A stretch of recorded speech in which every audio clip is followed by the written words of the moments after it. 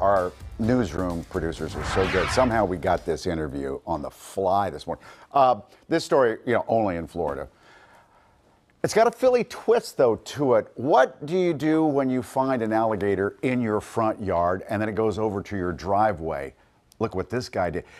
So, if you're brave enough, like this Philly dude, you scoop it up in the giant trash can. Now, this footage is from Orlando, Florida, but that's a Philly native doing the work there. He's an Army vet. His name is Eugene Bosey.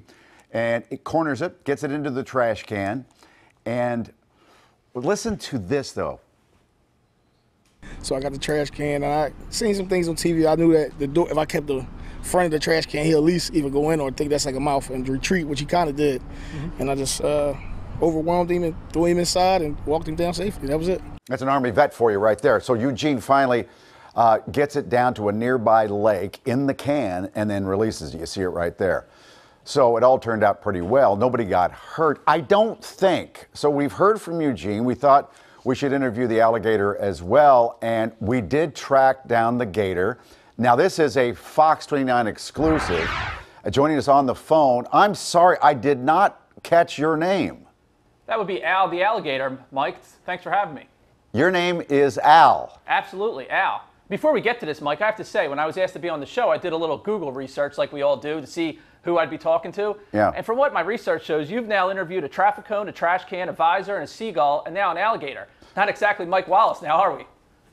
Oh, little snappy are you, huh? Yeah, you get the hard hitting interviews. I find that I am a decent investigator. What happened to the two fine people that were sitting next to you? Made them move, so you got all the play in this one? Yeah, I said I'm going to do this exclusive because this is going to go viral. Oh, absolutely. You know yeah, what I'm saying? What's on your mind today, Mike? Well, I, uh, it's, as snappy as you are, and um, I'm still going to ask about how are you feeling? How is your health? I'm great, Mike. Everyone's making it like he captured me. I was trying to get in that trash can. Once I heard he was from Philly, let's let's be honest. Let's look all the stars want to get away from Philly. I don't want any part of being with Philly. Carson Wentz, Ben Simmons.